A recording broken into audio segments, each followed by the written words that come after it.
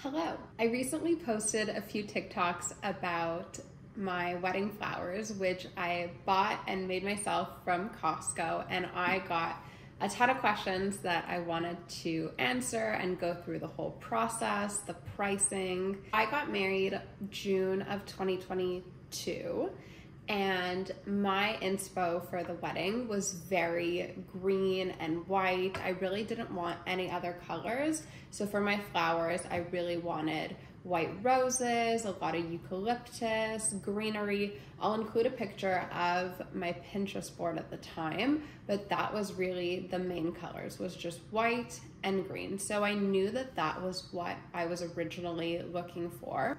So I emailed a few florists with my Pinterest board and how many centerpieces we needed, and I got back quotes for over $10,000. I saw that and I said, holy heck, can I do this myself? And that's when I turned to Costco. I get all my flowers from Costco. And turns out Costco has a whole wedding section of bulk wedding flowers. And They had exactly what I was looking for. And so I decided that I was going to make my own wedding flowers. So to start answering a few questions, how far in advance did I have to order them?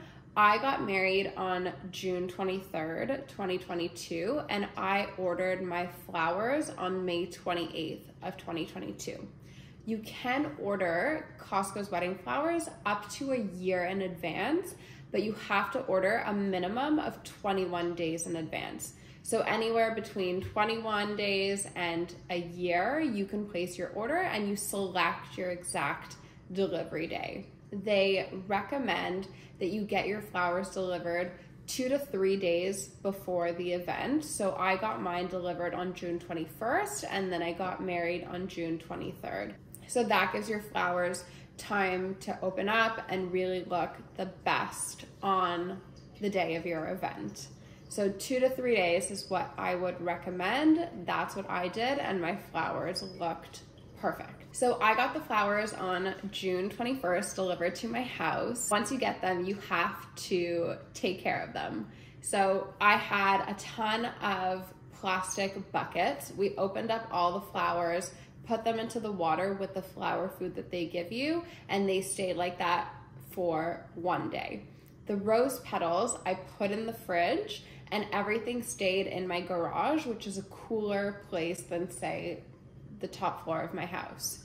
And then we got married at our country house, so we transported everything ourselves in the car. Everything was in the buckets with the water and brought everything to the basement of the country house, which is just a cooler place. So as long as your flowers stay cool, I don't think they need to be refrigerated. They just need to be kept in a cool, dark place with water. In terms of the price, I paid less than $500 for everything, which is so crazy considering that I got quoted over $10,000 for the same thing that I was able to make myself. The 48 roses were $50 the bulk white rose petals, 5,000 of them, which I used to line my wedding aisle, it was so pretty, was $120. The bulk flower medley, which had gerberas, alstroemeria, white roses, and baby's breath, was $140.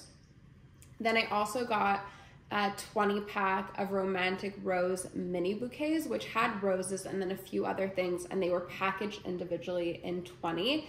They weren't big enough to make a full vase, but I put two of them together and then added from the different bulk flowers that I got to make my arrangements. Those were $150. And then the Fresh Wedding Runner four pack, which was the fresh garland, that one was $140. So that would give you the total. And then I got 20% off my whole Costco order. They were having a sale at the time where if you spent over a thousand dollars, you got 20% off. So I also had a few other things to get from Costco. We put it all together. And because you're able to choose a shipment date so far in advance, it was perfect. So we paid less than $500 for everything. Include a video now of when I got the flowers and then also the TikTok video that I made of me doing all the bouquets the next day.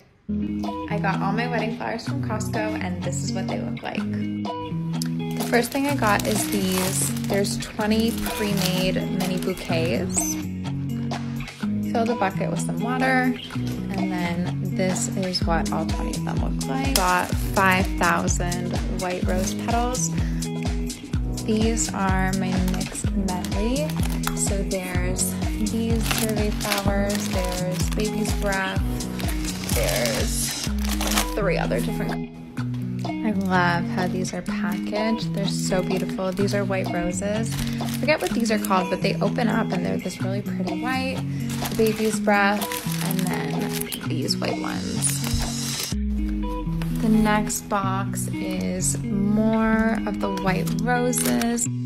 Then the last thing we got is these beautiful green garlands that are gonna go on our tables. They smell so good. These are all the flowers. I can't wait to put them all together. It's gonna be so cute. This is everything I made with my Costco flowers. With the mini bouquets and the mixed medley, we made 15 of these really pretty vases where you have roses, the Gerberas, Baby's Breath. Then I did one really giant vase with 48 roses. I did this really pretty arrangement, which is going on our bar shelves. It's all Baby's Breath. I made four smaller bouquets for the girls walking down the aisle. This is what they look like. It's seven roses, ribbon, and then a really pretty pin. And then I made my bridal bouquet, which is also just white roses with the same ribbon, but it's a little bit bigger. Overall, I have zero regrets. I had such a great time making my own flowers. I would recommend to any DIY bride if you feel you can do it. It's really not stressful at all as long as you have someone to help you. For me, it was my mother-in-law. We did it all together the the night before the wedding and it was just a great bonding experience. I saved a ton of money and the flowers look so beautiful the day of the wedding it was great and I would 100% recommend. Comment below if you have any other questions that you would like me to answer about the wedding flowers or any other wedding content.